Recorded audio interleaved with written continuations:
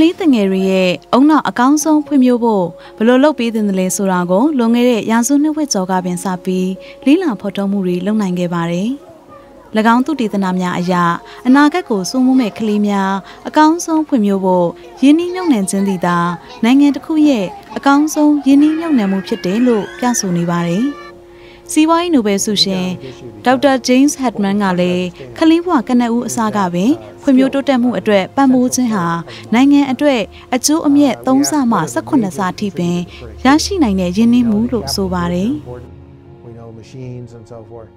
But people are important. ပြည်ထောင်စုသမ္မတမြန်မာနိုင်ငံနိုင်ငံတော်၏အတိုင်ပင်ခံပုဂ္ဂိုလ်ဒေါ်အောင်ဆန်းစုကြည်မှလည်းခလီးတငယ်များ၏ရှေးဦးအရွယ်ကာလအရေးကြီးပုံကိုဤသို့အလေးထားဆွေးနွေးခဲ့ပါတယ်။ But of course, uh, if you look at it, uh, if, if you look at primary education, we have to think in terms of early childhood development. That's going back to before the child is born, making sure that the mother is well nourished and that the child is uh, properly, uh, properly nurtured early childhood development has proved to be very beneficial and very cost effective in societies where this has been tried. So let us not just confine ourselves to primary education. Let's think of early childhood de development and education as a whole. အုံနောက်အောင်ကျော်သိပ္ပံပညာ neuroscience က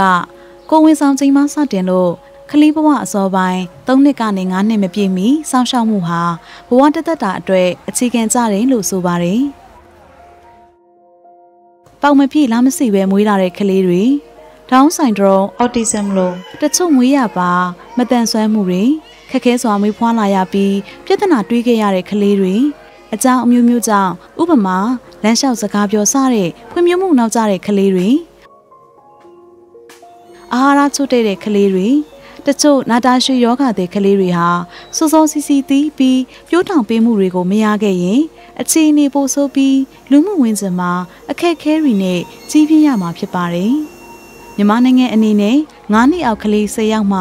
3ယောက်ကျော်ဟာအာဟာရချို့တက်ပြီးပူးညက်သေးကွင်းနေကြောင်း Multiple Indicator Cluster Survey 2009-2010အရသိရလို့နိုင်ငံရဲ့အနာဂတ်အတွက်စိုးရိမ်စရာဖြစ်ပါတယ်။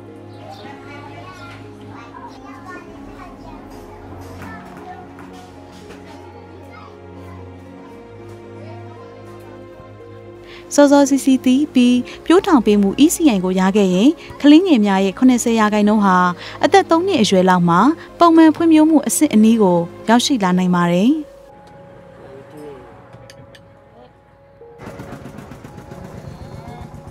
အခြားကလေးများနဲ့အတူမူဆိုနဲ့အခြေခံကျောင်းများတက်နိုင်လို့အတူပညာရေးလိုအပ်တာလျှော့ပြီးပညာရေးအတွက်ငွေကုန်သက်သာပါတယ်။အတန်ကြတာနေလို့ကျောင်းပြော့ပြီးကျောင်းထွက်တာနေပါမယ်။ ကျမ်းမာရေးလည်းကောင်းလာပါမယ်လူမှုဖူလုံရေးအတွက်အကူအညီမလိုတော့ပဲ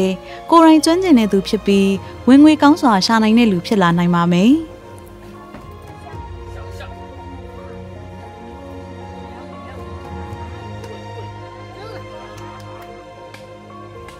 အကူအညီလိုအပ်နေတဲ့ကလေးတွေကိုစောစောစီးစီးရှာပြီးပြိုးထောင်ပေးမှု ECI ဟာအလွန်ကောင်းပါတယ်။